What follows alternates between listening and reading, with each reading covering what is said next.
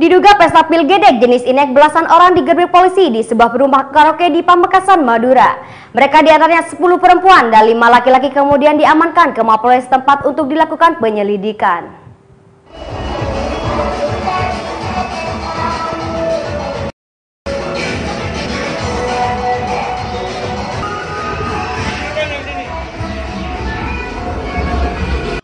Inilah video amatir saat anggota Polres Pamekasan Madura Jawa Timur melakukan penggerebekan di ruang karaoke Resto Wiraraja, Jalan Raya Telanakan Pamekasan Madura Jawa Timur. Saat dilakukan penggerebekan, polisi mengamankan 15 orang yang sedang asik karaoke dan barang bukti 11 butir pil Inex.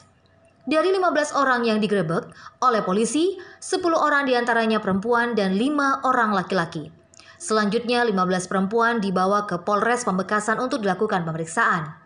Penggerebekan ini berawal dari laporan masyarakat bahwa ada segerombolan muda-mudi yang dicurigai melakukan pesta narkotika di salah satu ruangan karaoke Resto Wisata Wiraraja Madura.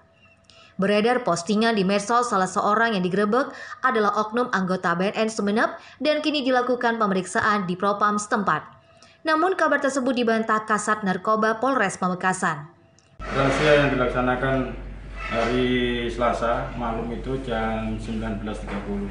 Dari penggerebekan itu ada berapa tersangka yang berhasil diamankan? Yang berhasil kita amankan eh, 15 orang. 15 orang. 15 orang itu terdiri dari Laki-laki 5, perempuan 10. laki-laki 5, perempuan 10. Itu dan yang laki-laki eh, dugaan itu katanya dari oknum BNN ya? Bukan? Tidak ada. Tidak ada. Tidak ada, ya? isu yang mencuat itu tidak benar ya. Iya. Hmm. Dan eh, apa? Barang bukti yang berhasil diamankan saat dilakukan razia apa saja? Inex ya?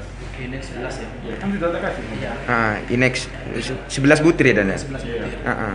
Itu memang eh, dibawa atau memang ada tersedia di sana Dan? Ada di lantai sama sekali. Apa? Berdasar pengakuan dari tersangka, barang itu diperoleh dari mana? Enggak ada. Enggak ada yang ngaku. Gak ada yang ngaku. Udah ada yang aku Dan? Iya, siap, siap, siap. siap. Pasalnya tadi berapa? Satu, satu, dua. Undang-Undang nomor 35 tahun 2009. Ancaman hukuman? Empat tahun minimal.